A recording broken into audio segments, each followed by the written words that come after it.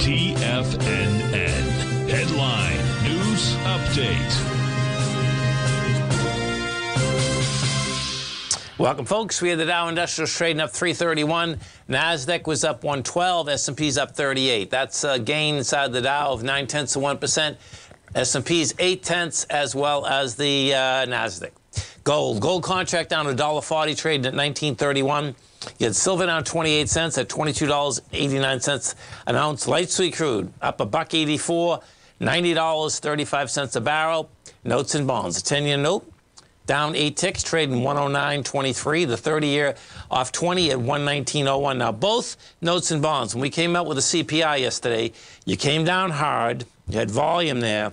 So what the note and bond market is doing today, it came into half of that bar with lighter volume. Hasn't rejected lower price yet. And here's the divergence.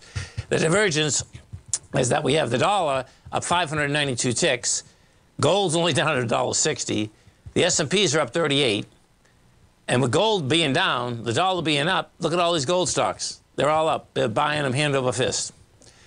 Good scene. Anyway, we'll see how this shakes out. You got the euro trading at 106. You got the yen out here at, uh, where are you? At 147. The British pound's at 124 to 1 U.S. dollar. We get over and take a look at the indices. The indices took out this swing point with volume. That's saying they're going to go up further. We did 74 million. The swing point out here was 60 inside the SPY. So bottom line is that, you know, you're coming into a Friday.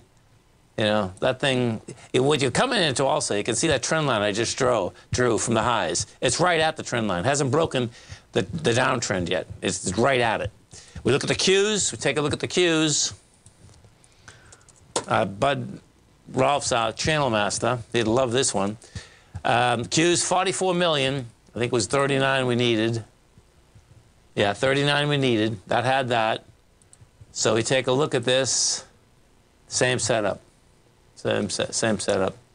Now, when you do come into one of these channel lines and volume's expanded, most times you just blow right through it. That's how it works. Go take a look at the gold market. This is where the divergence is, which is pretty wild, man. You take a look at gold. And what happened with gold, you had two different things happen. You, you had a lower price, and you had some volume, 195,000 contracts. We'll see what tomorrow brings. A good old Friday. Have a great night, folks. Have a safe night. Come back and visit us tomorrow morning, 9 o'clock. TFNN kicks off. Go get them, folks.